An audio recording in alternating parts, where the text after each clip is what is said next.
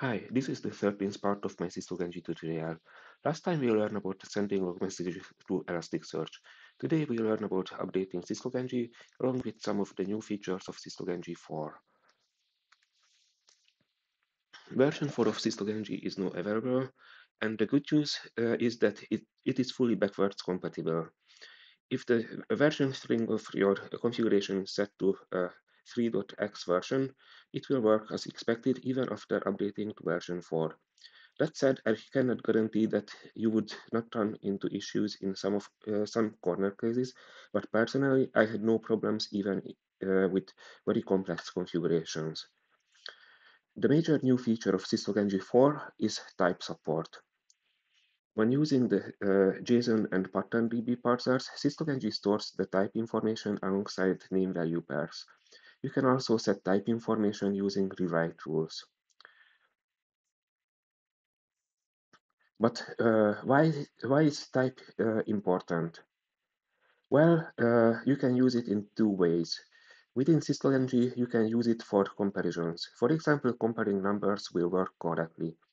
On the other hand, you can use it uh, for type-aware output. Previously, even if syslog-ng parsed types uh, properly, all name value pairs were stored as if they were uh, strings. You could hint the type information on the destination side, but it was a painful manual process. A syslog-ng stores uh, type information uh, with name value pairs, the JSON template function, and uh, various uh, destinations uh, can uh, now uh, send proper type information. For example, if you extract temperature data from log messages, you do not have to configure the type manually anymore on the syslog-ng side or configure type in the destination uh, database. A syslog-ng sends temperature data as num numbers without any additional configuration. Handling of lists or arrays uh, also improved considerably in this major new release. Today, we will use JSON formatted log messages from Sudo 194 or later to demonstrate the differences between, between syslog-ng 3 and 4. The first uh, log path in the following configuration uh, collects log messages and stores them without any further processing or filtering into var log messages. There is also a second log path uh, which selects sudo logs, parses them uh, using the JSON parser, and creates a JSON formatted message from the result. The JSON template function has a few exclusions to make uh, the log messages shorter. So the message macro, uh, which contains the original JSON payload, and any journal macros are discarded. Two new lines at the end of uh, and make the files more human readable. Using this configuration, uh, if you uh, run sudo, you will find the JSON formatted log message in var log messages.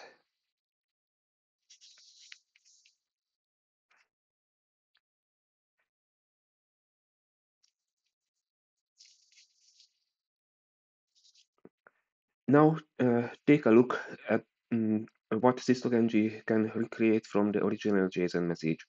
JSON sudo logs are automatically parsed by syslog-ng. This is why you do not see a parser declaration in the above configuration. The JSON template function uh, then tries to recreate the log message from the name value pairs. For the untrained eye, uh, the only difference is that uh, syslog-ng macros like date or facility are now also part of the JSON.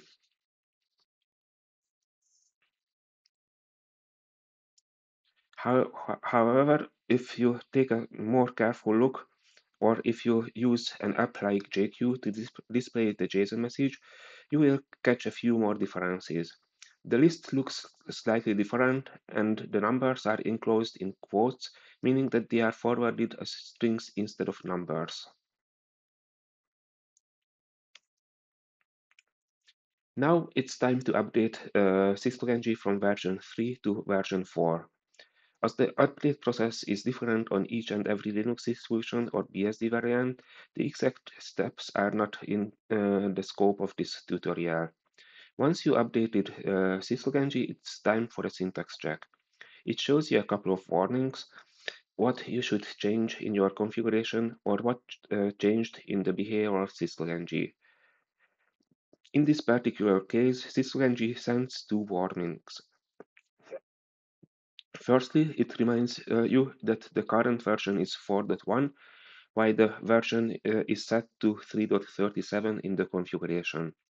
Secondly, it indicates uh, the changed behavior of the JSON template function and shows you how to change the configuration if you want to keep, keep the old behavior uh, with the new configuration version.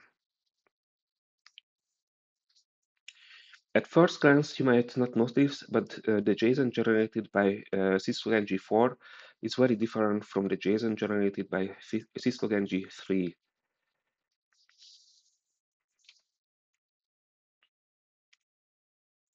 It is easier to spot the differences with some formatting. Both, both lists and numbers are handled properly by syslog-ng4. When this tutorial is uh, released, the documentation for syslog-ng version 4 will not be available yet. You can learn more about the changes from the release notes.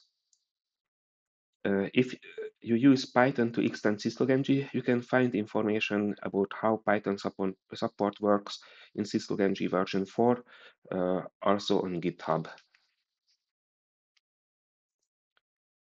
If you have any questions or comments, leave a comment on YouTube or reach out to me on Twitter or Mastodon.